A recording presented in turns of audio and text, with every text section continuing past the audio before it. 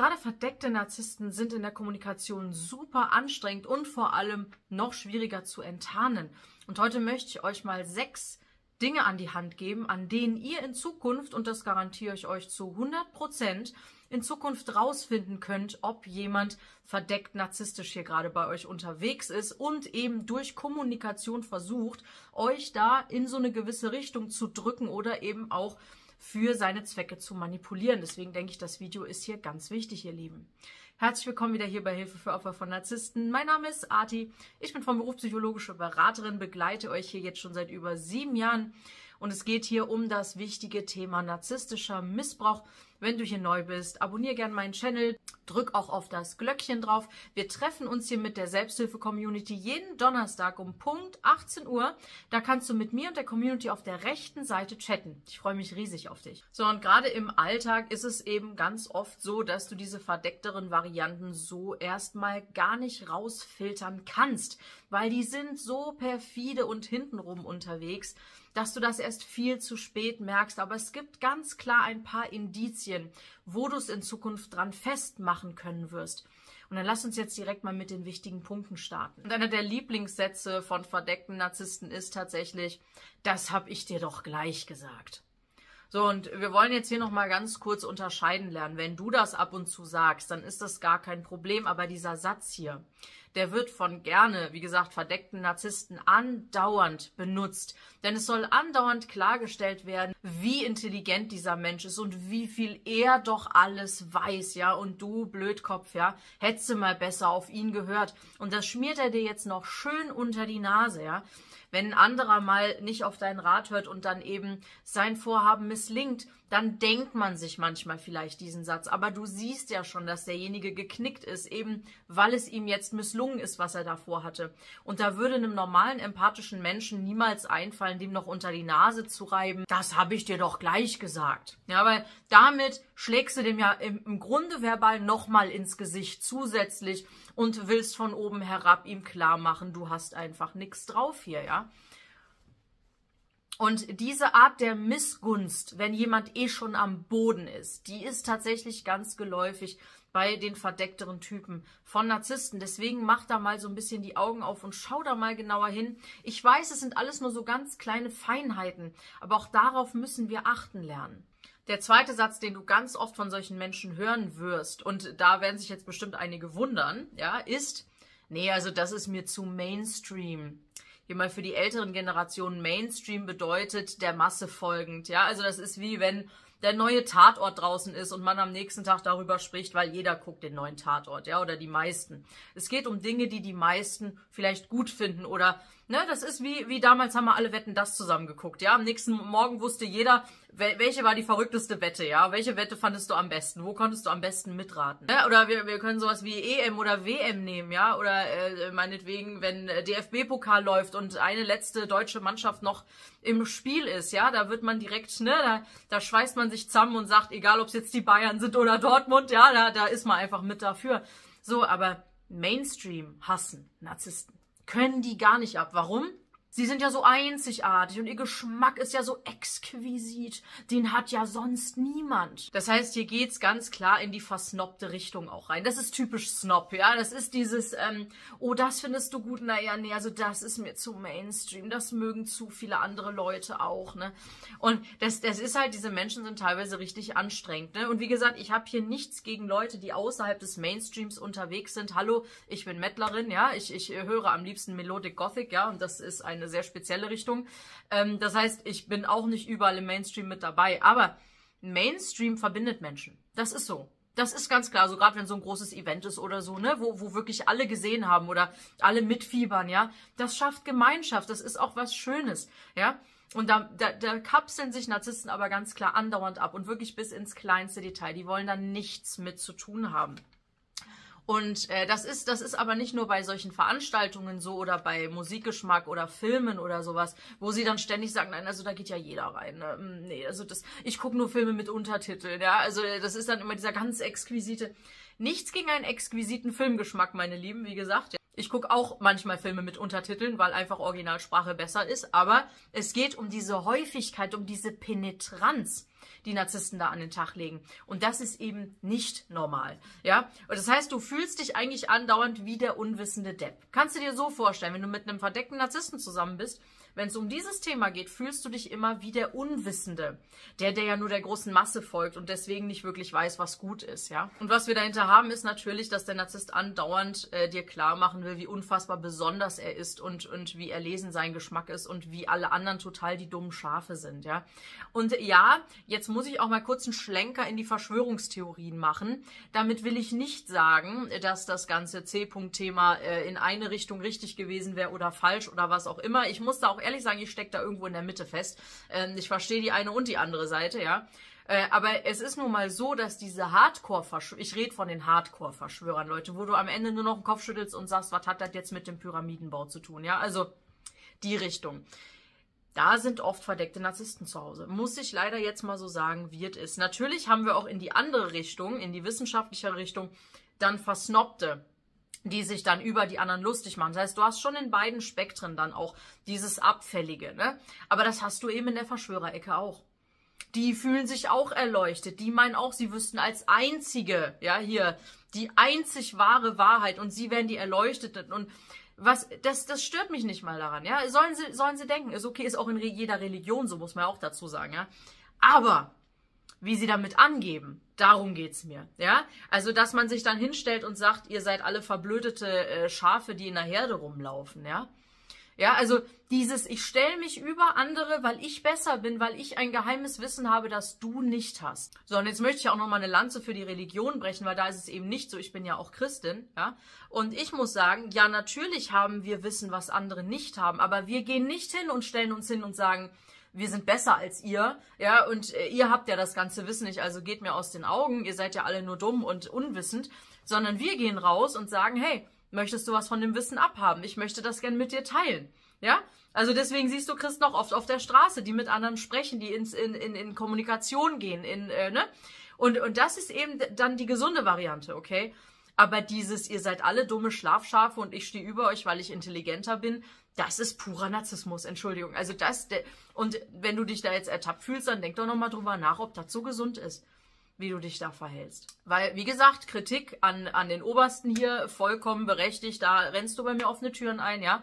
Aber sich über andere zu stellen und die als dumm hinzustellen, und das gilt in beide Richtungen, ist purer Narzissmus. Ja, da möchte man ja gar nicht mehr in den Austausch gehen. Da ist man sich ja schon sicher, man hat die Weisheit mit Löffeln gefressen, ne?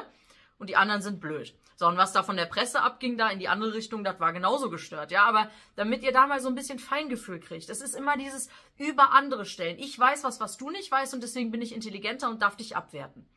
So, und das ist immer Narzissmus, in meinen Augen. Persönliche Meinung. Der dritte typische Satz, den du oft von verdeckten Narzissten hörst, ist, das war mir klar.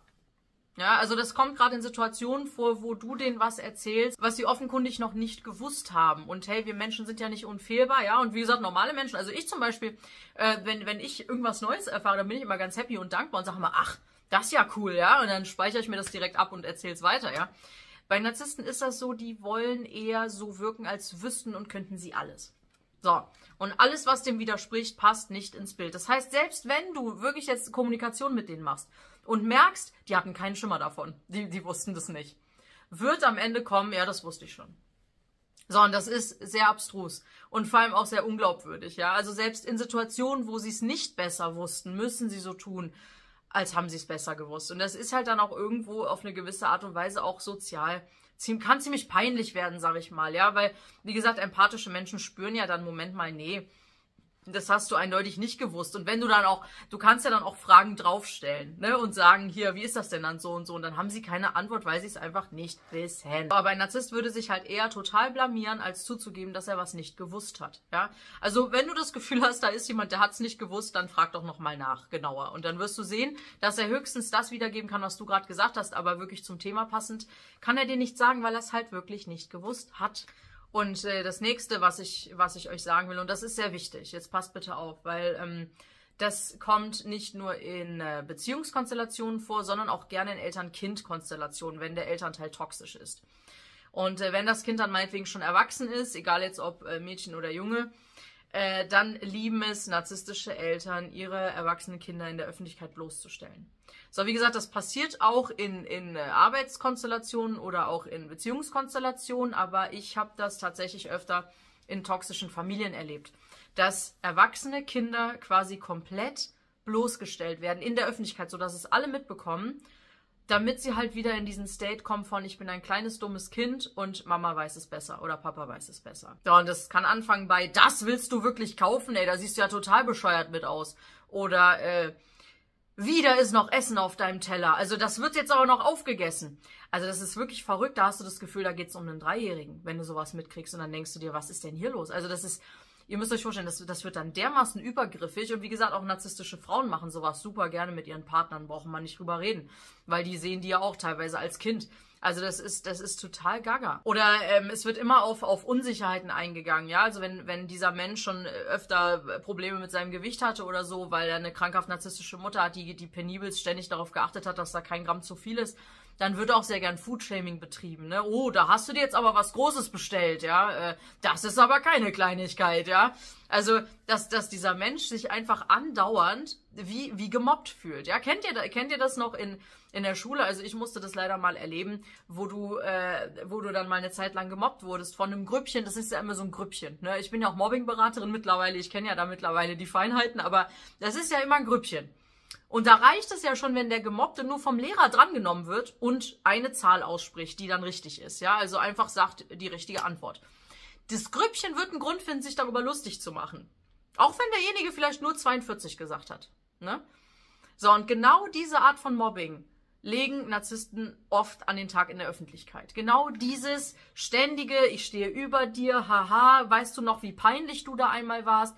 Oder wenn ihr zum Beispiel, wenn es eine Beziehung ist und ihr mit Freunden unterwegs seid und dann ähm, erzählt irgendwer irgendwas über Bier. So, und dann sagt auf einmal die Narzisstin neben dir, boah, weißt du noch das eine Mal, wo du einmal zu viel Bier hattest und dann hast du dir ähm, in die Hose gemacht.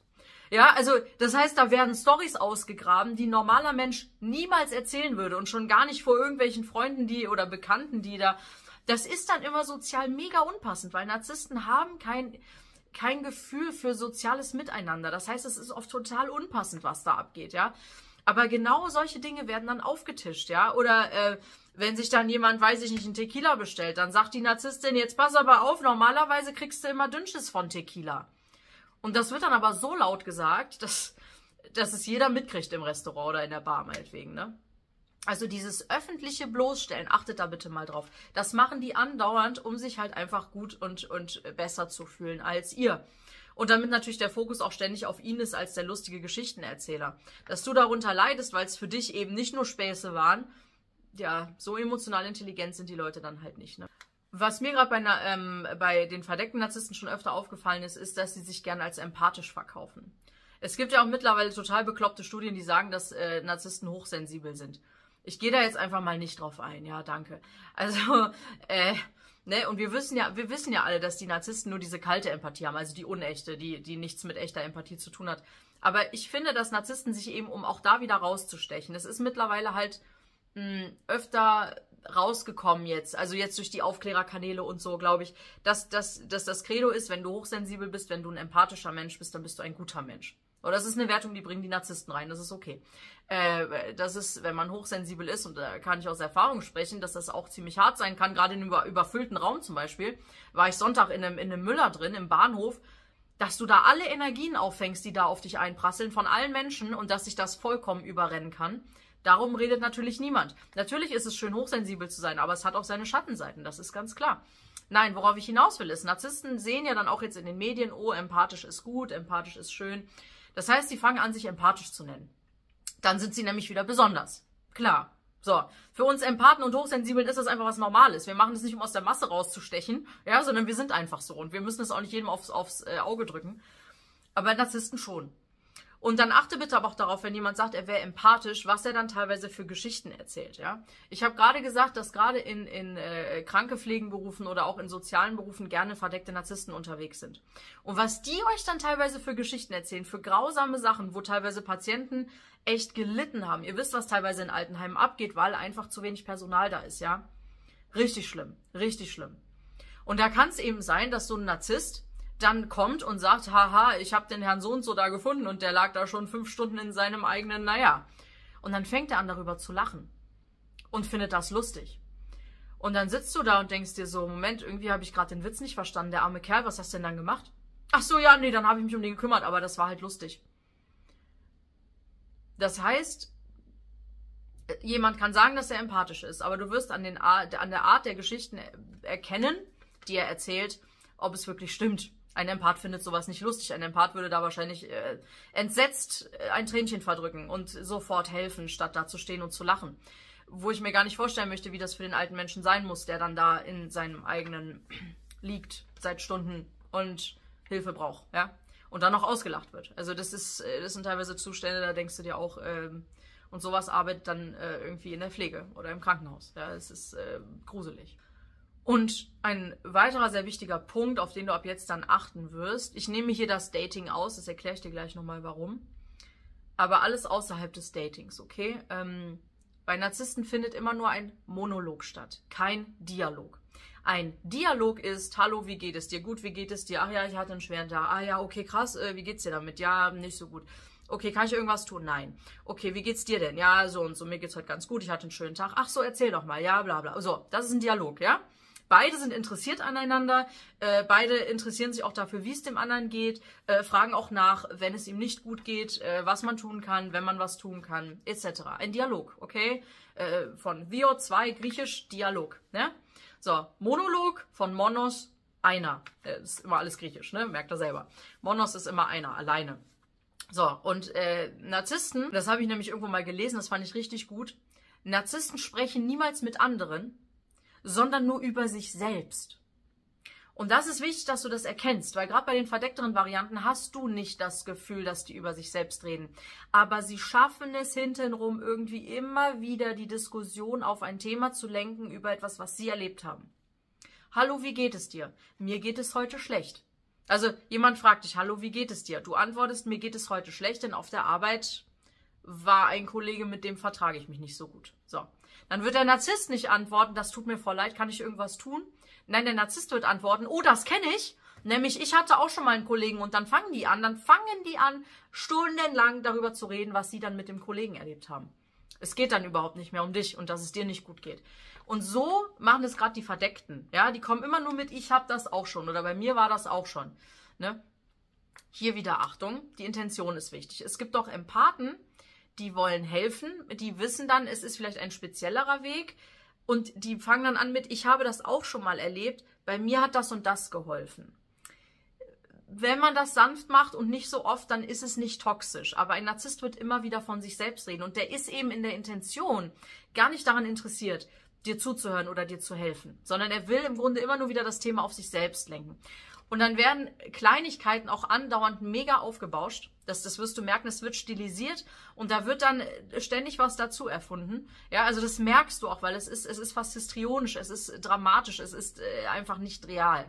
Ja, und das, das merkst du während dieser Kommunikation, die ja nicht wirklich eine ist. So, und du, du merkst, wenn du darauf Acht gibst, dass du im Endeffekt nur dafür da bist, das zu kommentieren, was der andere da palabert. Und ich muss wirklich palabern dazu sagen, weil es ist nichts anderes.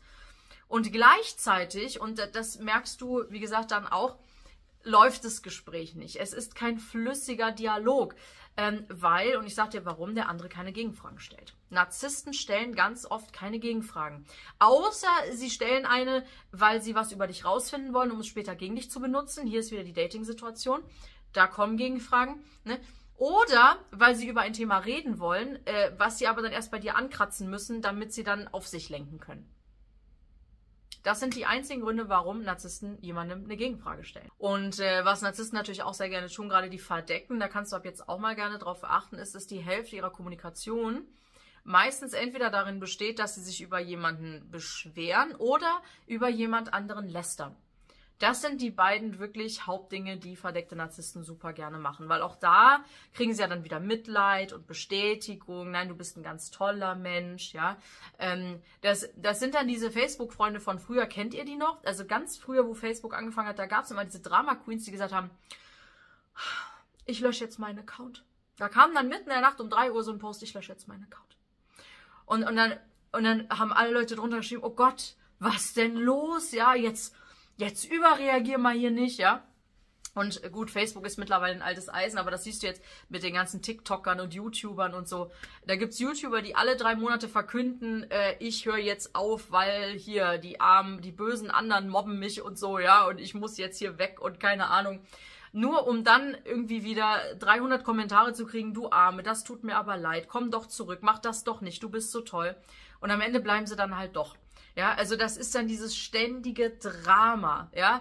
Und, und wie gesagt, Narzissten lieben Drama, stecken ständig in Drama fest und ähm, das, das Drama kann einfach nicht von ihnen lassen. Und sie auch nicht vom Drama. Also wenn du so eine Art von Kommunikation merkst, dann kann es sehr gut sein, dass du mit einem verdeckten Narzissten zu tun hast. Und dann kannst du eben dann auch deine Konsequenzen ziehen, welche auch immer das sein mögen, ihr Lieben.